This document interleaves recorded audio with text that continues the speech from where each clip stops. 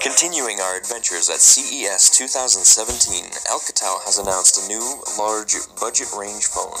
This is the Alcatel A3 XL, a 6 inch device with low cost consumers in mind.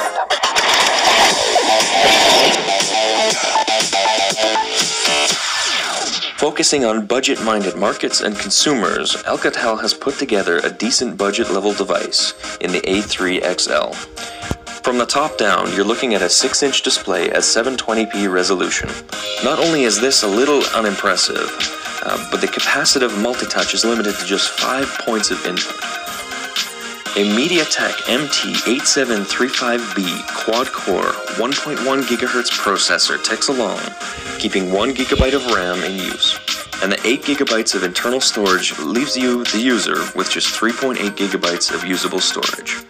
Good thing there is support for up to 32 gigabyte micro SD. The cameras offer a similar story. The 8 megapixel rear facing sensor with up to 1080p video capture includes software features, including 4 times digital zoom and a few beautification modes like we've seen on other front facing cameras. The A3XL packs just 5 megapixels up front, keeping things simple with up to 720p video capture. Manual camera controls will keep enthusiasts pleased, but the settings limit a 16:9 aspect ratio to just 1 megapixel resolution. Unlike many budget devices, you'll enjoy biometric security on the A3XL, as there is a fingerprint sensor on the back, up by the camera like you'd find on a later model LG phone or the Nexus 6P.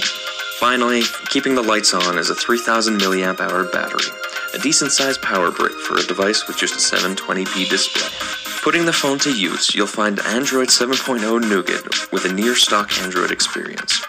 The device is fluid.